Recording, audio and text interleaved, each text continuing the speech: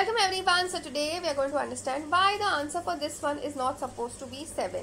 See please understand first there is a bracket. So we'll first do the bracket. So 30 minus 2 divided by 4 multiplied by 7.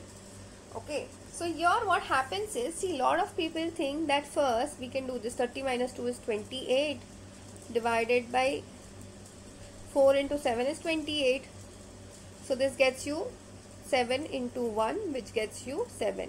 Now that is absolutely incorrect.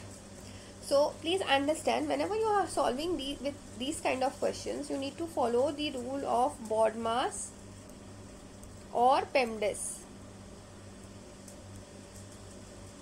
which says in both cases first what we need to do is the bracket okay and what happens over here is we'll keep 30 minus 2 as it is. And sorry minus 2 no we will not do it that way because see first we will do division and multiplication together. We'll keep the 30 minus as it is okay? So we have 2 divided by 4 and here we have 4 multiplied by 7 so out of these two what you should do first?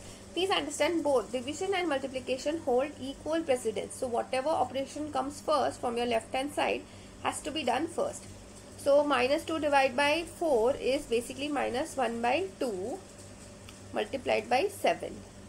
So this becomes 30 minus 7 upon 2.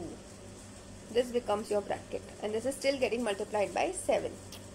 So this becomes basically 7 and in the bracket we will take LCM so which is 2.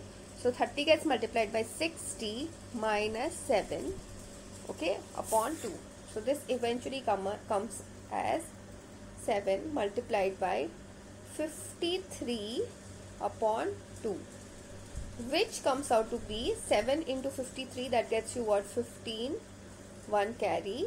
7 into 5 is 35 plus 1 gets you 36 divided by 2 so answer comes out to be a 182.5 okay so i hope you've understood how to solve these kind of questions. That's it for today. I will see you in the next video